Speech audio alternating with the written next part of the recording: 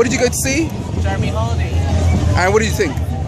I've never actually, I've only listened from the radio, but I've never actually seen it Very good. Looks very different from what I was expecting. Yeah, given that the Brexit happened this oh. morning, pretty quick on the response. Yeah, really good. Really funny. Definitely one of the best things I've seen so far. First time I've laughed today. Yeah. Hashtag Life, Life is a cabaret.